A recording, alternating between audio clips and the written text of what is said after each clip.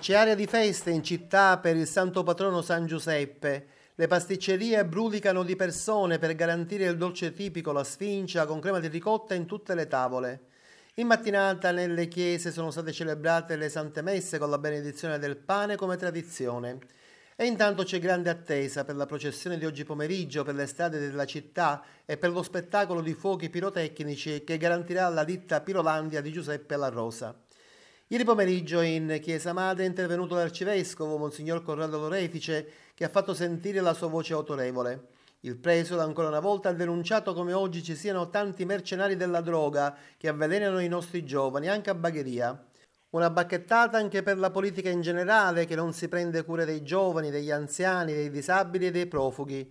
Infine ha rivolto un invito ai genitori che debbono ritornare ad esercitare il loro ruolo educativo, come San Giuseppe che si curava della propria famiglia seppure nelle varie difficoltà della vita. Lei poco fa ha parlato dei giovani. A chi li affida i giovani? Beh, eh, li affiderei eh, proprio qui a Bagheria eh, alla figura meravigliosa di San Giuseppe. Eh, perché lui con la sua discrezione ma anche con la sua audacia è stato capace di accompagnare la crescita di Gesù verso una pienezza di umanità eh, tale che gli permettesse addirittura eh, di capire sempre di più la volontà di Dio che lo voleva Messia liberatore degli uomini. E grazie anche all'umanità di Giuseppe, l'umanità di Gesù è stata bella, significativa quell'umanità che incontrava, che perdonava, che guariva, ma soprattutto quell'umanità che aveva una parola bella, l'Evangelo da poter dire a tutti, perché quando arriva la bella notizia che Dio è amico degli uomini, cambia anche la convivenza umana. E per questo vorrei affidare i giovani proprio all'intercessione eh, di San Giuseppe perché siano liberi dalle false felicità, soprattutto quelli che propongono quanti vogliono schiavizzare i nostri figli e renderli solo strumento di consumo e di, di false felicità come sono gli, stupe, gli stupefacenti, come accade a Bagheria, come accade a Palermo, questi mercanti di morte che propugnano felicità e invece distruggono le coscienze, i neuroni, ma soprattutto la vita bella dei nostri giovani. Ammontano complessivamente a 93 milioni 873 mila euro gli interventi programmati dall'ASP di Palermo e finanziati con i fondi del PNRR. A Palermo e provincia saranno realizzati 10 ospedali di comunità, 12 centrali operative territoriali e 38 case della comunità, oltre ad un ospedale sicuro e sostenibile individuato nel nosocomio di Partinico.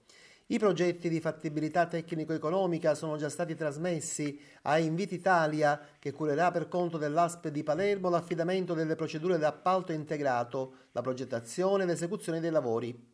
I dieci ospedali di comunità che svolgeranno una funzione intermedia tra il domicilio e il ricovero ospedaliero verranno realizzati a Palermo, Petralia Sottana, Termini Merese, Palazzo Adriano, Vercala Friddi e Piana degli Albanesi. Le 38 case della comunità nelle quali si potrà trovare assistenza 24 ore su 24 ogni giorno della settimana saranno realizzate tra gli altri a Cefalù, Collesano, Pollina, Carini, Cinisi, Monreale, Villa Abate, Caccamo, Villa Frati, Trabbia, Aliminusa, Vicari, Bagheria e anche a Palermo.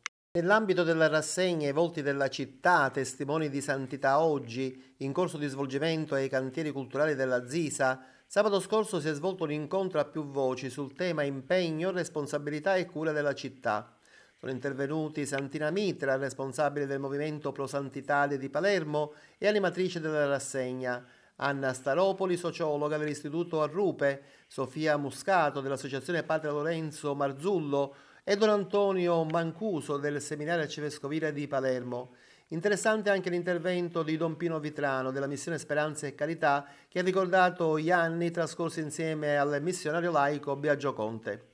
I partecipanti hanno ammirato la mostra dei pannelli sui testimoni di oggi che raccolgono frammenti delle loro storie, brevi pensieri, tracce del loro silenzioso passato, della rivoluzione che hanno acceso nel mondo. Domani martedì 21 marzo alle 10.30 presso la caserma Antonio Alessi, sede del reparto territoriale carabinieri di Termini Merese, si terrà l'inaugurazione di una stanza per le audizioni protette delle vittime vulnerabili. L'iniziativa è stata realizzata con il contributo dell'associazione Fidapa, sezione di Termini Merese e del Comune. All'evento sarà presente per il taglio del nastro inaugurale Ina Brancato, madre di Roberta Siragusa, vittima di femminicidio commesso a Caccamo nel 2020. Successo del pugile della Body Power Giuseppe Mercadante, il pugile allenato da Vincenzo Martorana si è imposto nella categoria dei superleggeri kg 62 contro il pugile di casa Omar Beji. Per Mercadante il match era valevole per acquisire punteggio nella categoria. La manifestazione si è svolta a Palermo nella palestra Little Club.